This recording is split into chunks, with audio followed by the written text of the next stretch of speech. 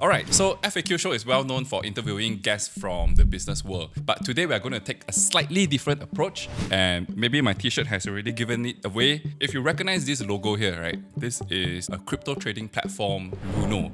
They're one of the largest crypto exchanges in Malaysia. And today with me, we have the country manager and the general manager of APAC, Mr. Aaron Tang, with us today. Welcome to the show.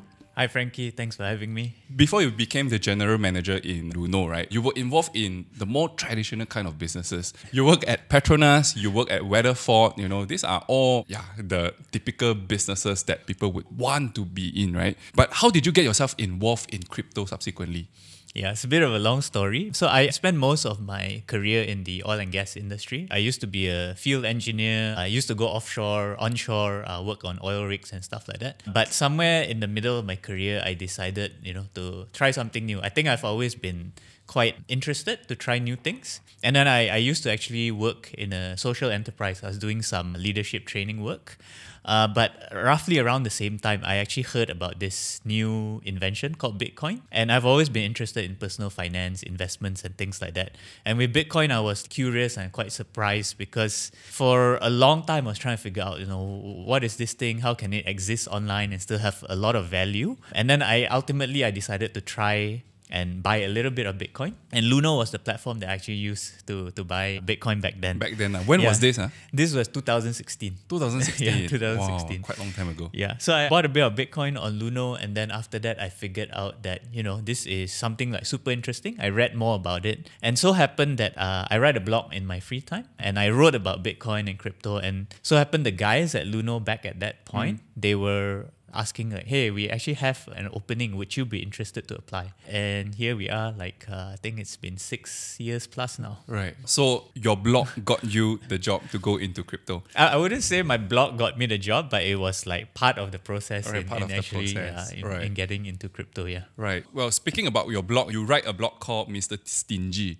Yep. What inspired you to start the blog? I've always had this creative side of me that I wanted to express. Mm. And back then, 10 years ago, it's like quite different because you know even photo sharing or video is not as as prevalent as it is mm. today so back then what you did was you, you write a blog lah right mm. so that was what i started doing and um, there's a lot of things that i try and put into that blog so whether it's personal finances career and so on but over time i, I became more well known for my money related articles lah. Right. yeah do- for better or for worse yeah Do you have a business plan for Mr. Stingy? Not really. Not really, yeah. I mean, I do it more for fun and Right. hopefully to to bring some good ideas and art into the world. Maybe I'll write a book one day, but uh, Right. that's about cool, it. Cool, Cool, I will look forward to your personal finance book. And, Thank you, thank you. And Frankie. see how I can make money from it.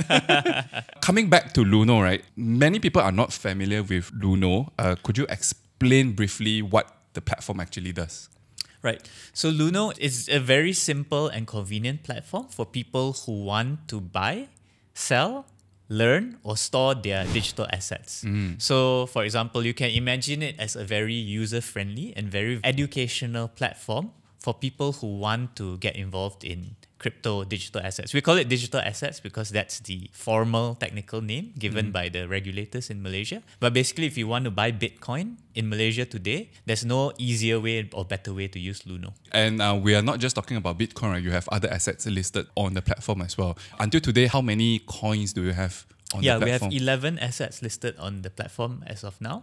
Okay. So all the major coins that you can imagine. So Bitcoin is of course the most well known. but Ethereum is also quite well known, and then we have coins, for example, like Solana. Solana's been doing quite well, so a lot of people are talking about it as well. From what I can see, is uh, they are all the big cap crypto projects that are listed on Luno Exchange. But what stopped you from listing all the other coins? Because if you look at those overseas platform, right, they have like thousands of coins listed there. So why don't Luno do the same to get more business? Yeah, it's a bit of a nuanced answer. So, first of all, definitely we do recognize that mm. people want more options, right? So, there's definitely an effort there to increase our number of offerings and mm. coins over time. But I think the other angle to that is we are a regulated business in Malaysia.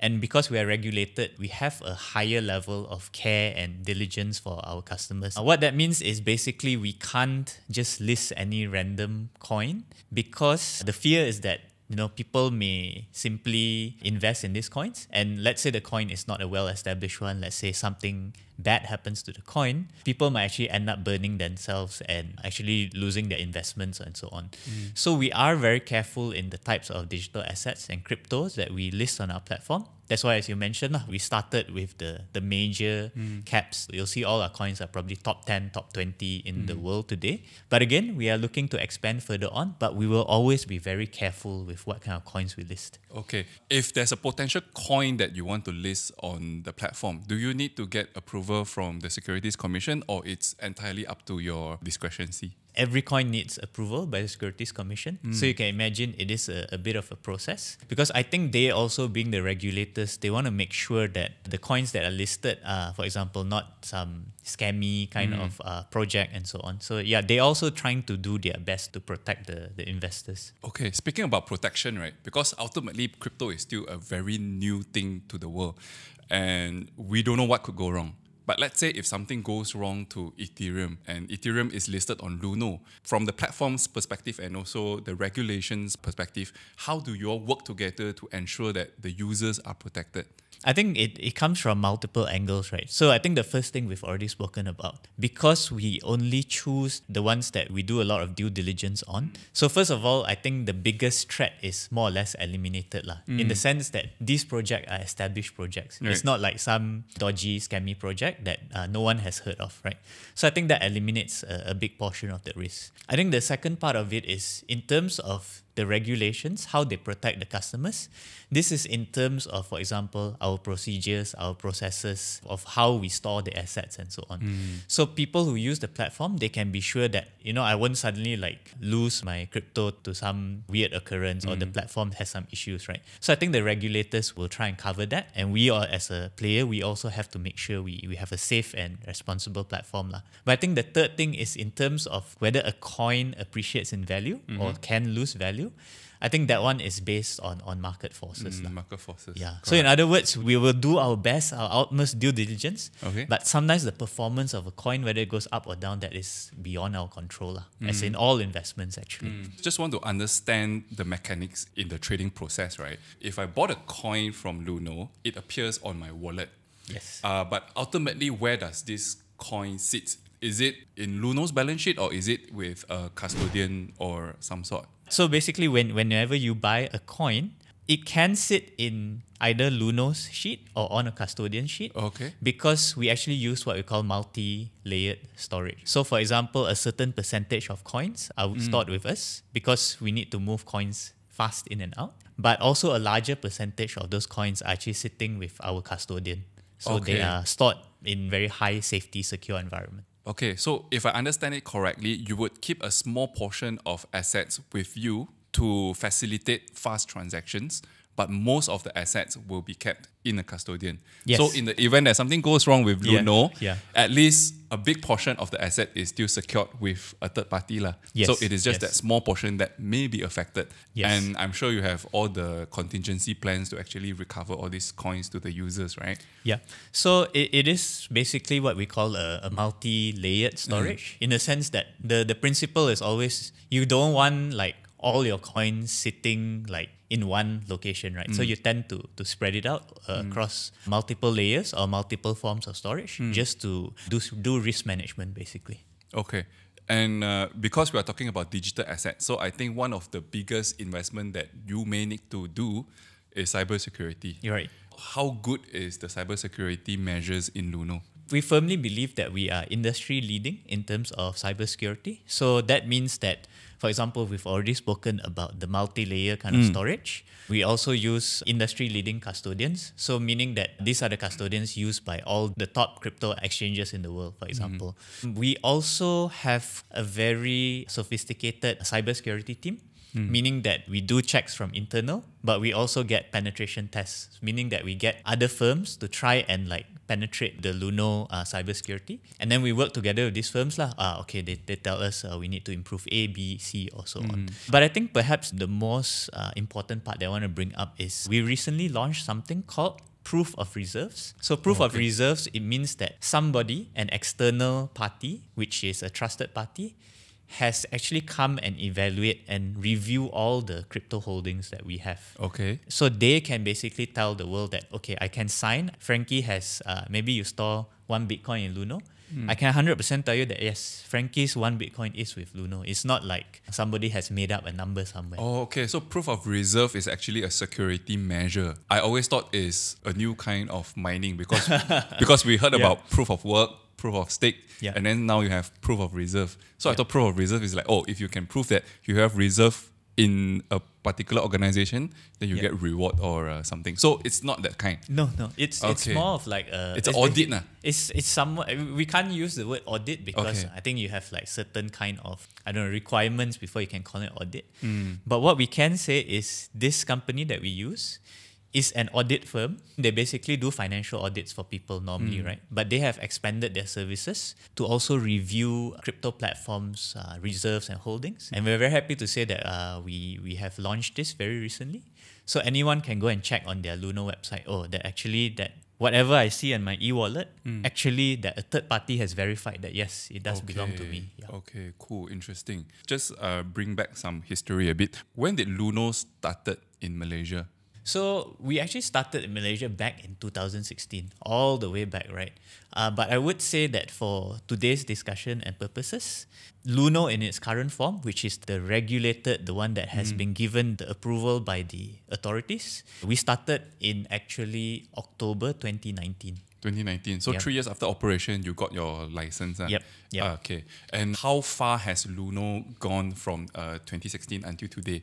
I'm sure in terms of user base, Yep. it has grown tremendously, right? Yep. Uh, what is the growth like from back then until now? So when we started back in 2016, it was obviously from basically zero, right? Today, we are very proud to say we have more than 840,000 users. 840,000. Yeah, 840,000. So I haven't checked the latest numbers. It could be maybe 850, 860 now, Okay. but definitely more than 840,000.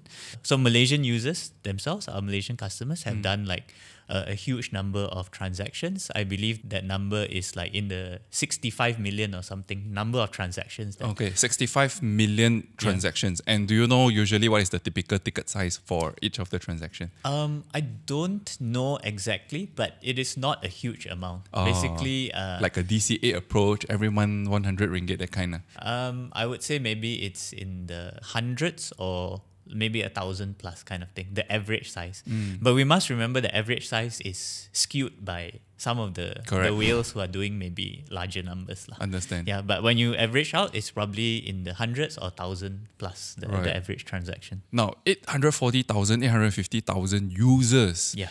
I think that number is even larger than the conventional stock market user. Where I'm coming from is that do you think crypto investment in Malaysia today has surpassed the conventional kind of asset classes? I would say no, Mm. actually. So I think CDS, if you look at the stock market, CDS probably has maybe somewhere around 2.5 to 3 million users. Of course, it's Okay. not with one platform, Yeah. but it's, it's spread out across all the brokers and investment banks.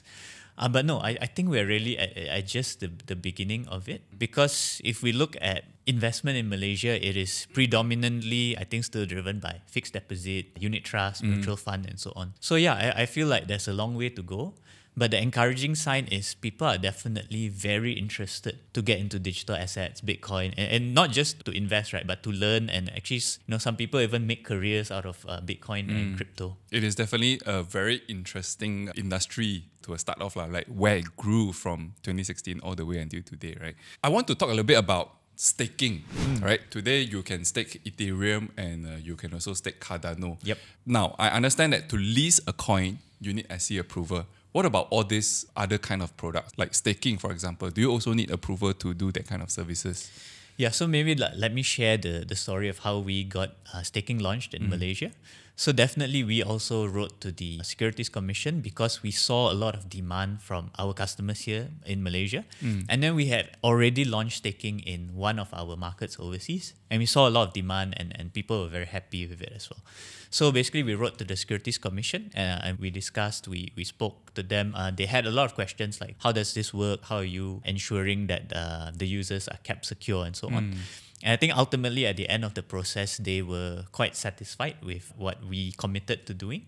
And then that's when they said, um, yeah, it's okay for you guys to, to launch staking. So, can we expect more staking products going forward? Yeah, we definitely want to get as many staking products as possible, given the market has said that you know we want this kind of yield generation or you know, basically I want to put my crypto and get some rewards for, Mm. for putting my crypto in Luno. Yeah. So it's like a FD like that, right? I mean, it's kind of the same principle, Yeah. right? I, I put it there and I, I get rewarded for, Okay. for putting it. okay. So using bank products as an example to mimic what crypto world is doing. One of the most exciting thing that I personally look forward to is a crypto card. So I can deposit my crypto assets into the card and then I can spend it in the retail store or uh, whatnot. But I understand that the procedure to get that card is very, very difficult. Can you share how is it like in that experience in Malaysia if you are looking into that? And also how far are we from getting that card to Malaysia? Sure.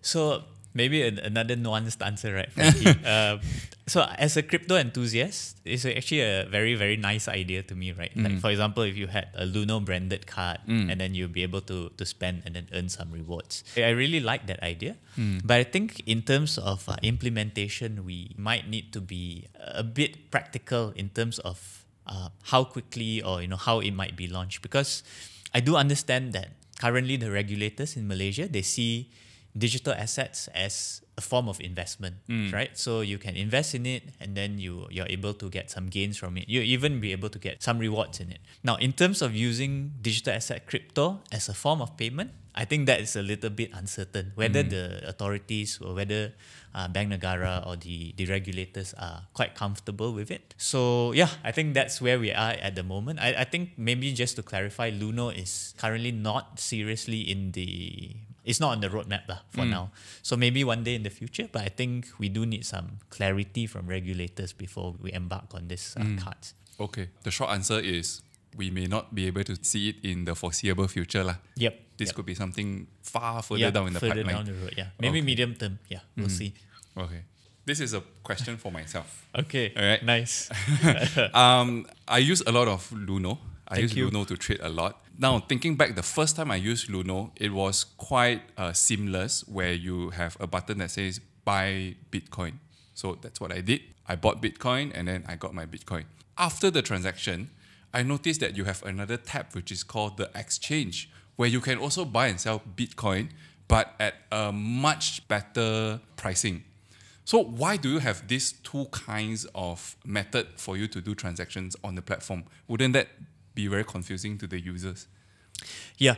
So I think just to maybe for the audience, right? So in the Luno app, there's there's two features. One we call it the instant or simple buy function. So it's Okay. as Frankie described. You just press one button, you get a quote for how much you want mm. to buy the Bitcoin, and then you buy. Right mm. now, the fees for that is higher than versus the exchange mode. Now the mm. exchange mode is a bit more similar to maybe what you would see on a normal stockbroking app mm. because you have all the charts you have the candlesticks, you have the order book. You know, you can you can see what prices people are trading, uh, buying and selling at. When we looked at our customer base, we mm. realized that some people actually just want the the really really very simple one, right? Mm. I'll just click buy, I see the quote, and I, I straight away buy. It's simple and fast. Whereas some people they actually like the the bells and whistles. Maybe for more sophisticated uh, investors, they actually want to look at the charts, they want to place their orders and so on. So we basically offer both methods because again it's I, I think slightly different demographics lah. Our worry is if we just give one interface, some people may find that it's a bit too confusing or you know I I, I don't want to bother about all these features. right. On the other hand, if you just give the simplified interface, people will say that oh I want to be able to queue my orders, I want to hmm. be able to set price limits and so on. Okay, so I also downloaded a few other exchanges approved by Securities Commissions once, uh, of course. And I noticed one thing very striking is that in your order book, the depth of the market is a lot better. The liquidity is much better compared to other platforms. Is it simply because you have 840,000 customers and everybody just jump into Luno platform to provide that liquidity? Or is it something that you do behind, you have some mechanism to make sure that whenever people want to do transaction, you make sure there's enough liquidity in the market? So I think it's more of the former. Most of the liquidity that you see on the order book is completely organic. Completely organic. Completely organic. most of it. Okay. Okay. So meaning that most of it is basically Malaysian users trading among themselves. So uh, maybe just again to to clarify for the audience, when you trade on Luno, you're basically trading against other people in Malaysia. Yeah, it's a community kind of trading. Yes. It's not an exchange trading like Bursa Malaysia. Yeah, yeah, yeah, yeah. So you're basically buying and selling versus maybe somebody else user, in, in, yeah. in, in Malaysia, right? We do try and help with uh, basically market makers to try and help support the liquidity. But again, it's not a huge amount of like uh, market making going on. Right? Mm. Most of it is actually uh, organic by the Malaysians themselves. But I'm sure you also make extra revenue when you do market making, right? Our market making is basically to help support the liquidity. When we do market making, uh, a little bit of ourselves and a little bit with uh, maybe partners, it is not intended to to drive a profit to us. lah. Yeah. Oh, I mean, okay. we, we don't want to lose money, of course. That, Right. that is clear. But it's not intended to be a, a big profit generating for us. Okay. Well, for context, if you don't know what's market making, basically, if the trading of a particular asset has very little people uh, participating in it, then the market maker will come in and provide liquidity into the buy and the sell so that it makes the quote a lot more accurate to the real market. The price won't be distorted, put it that way. Yeah. Some of the exchanges like Coinbase, they are listed right Yep. on the Nasdaq and all that. And uh, since since since you're largest in Malaysia, and I and I guess that you make quite a lot of money over the years, does Luno Malaysia have plan to actually go listing as well? specifically in Malaysia because we're part of the overall Luno group. So Yep. There's no plans for Luno Malaysia to, for example, spin off and you know get listed on Bursa or something like mm. that lah. We will definitely follow the the overall group level, which is basically our Luno based in the UK. So for mm. example, maybe if Luno decides to go for listing in say three years on UK stock exchange or the US stock exchange, then I think we'll just follow along for the ride lah. Okay, so you will be part of the big Luno group. Yep. Yeah. Yep. And then uh, Malaysia is just a small portion of it. lah. Well, we're not a small portion because we are one of the major markets. Oh, you're one of the major yeah, markets we in the Luno of- ecosystem. Yes, Oh, okay, okay. yeah. So, So, yeah. are you in the top three or top Yeah, five kind of uh, kind of transaction? Definitely. Oh, really? Yeah. So, Interesting. Malaysians, thank you very much. Yeah. Wow. Okay. Uh, because you're the general manager in the Asia Pacific region, right? Yep. So within your scope of work, Yep. can you help me to rank what are the top three countries that are using Luno today? Yep. So I currently look after Malaysia, Indonesia, and Australia. Okay. So among the the markets here, definitely Malaysia is our largest market. Wow. I uh, didn't know that. Now, Luno may be the most well known crypto trading platform in Malaysia, but in general, there are still many, many other exchanges out there, right? So, what is your future plan in, say, the next three to five years to at least defend this position? Or is there a plan to say that, hey, I want to be like Coinbase one day? I think our immediate focus, uh, definitely in this like one year, Frankie, is that we want to get to a level where we feel that we have enough crypto digital assets for, for people. I think mm. we're still been super conservative right now in Malaysia. There's 11. Mm. So probably we need to get to maybe 20 first, 30, get to a, a more breadth of digital assets. Then we want to bring other solutions. For example, staking was a good launch this year, mm. but can we bring staking to many, many other coins as well? So I think that's the first two objectives.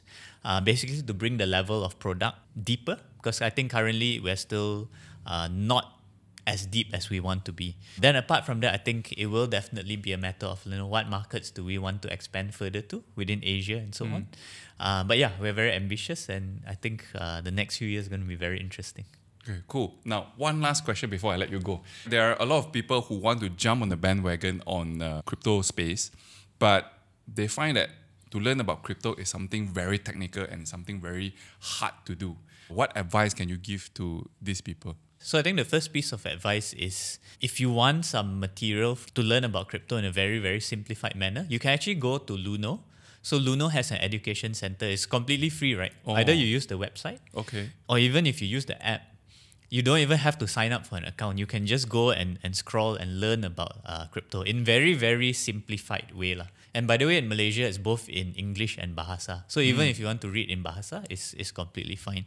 So that's the first thing. The second thing is, I think the unique thing about crypto uh, digital assets is you can actually start investing from as low as one ringgit, right? One ringgit is the minimum buy. So sometimes if you don't actually try with a little bit of money, hmm. it gets a bit harder to learn, hmm. right? So I, I don't know what is a, a cup of coffee to some people. Maybe it's five ringgit, maybe ten ringgit, maybe fifteen ringgit, those slightly higher, right? But maybe you can just take that coffee money, put a little bit give it a try. And then I feel that you are quite incentivized to learn about it. Okay. It, it was the same for me because I always read about Bitcoin from a far distance. Mm. I can never really understand. But the moment you actually put some of your money to try, mm. then suddenly you are forcing yourself, I have to learn, I have to understand what I'm buying, right? Mm. So I think that would be also a useful thing. Of course, don't put a huge amount of money, right, the first time. Mm. But you can start with 5, 10 ringgit, something like that. And I think people will be amazed at what they find out. Yeah, that's the best way to start investing actually. But just now you mentioned you can invest in crypto from as low as one ringgit.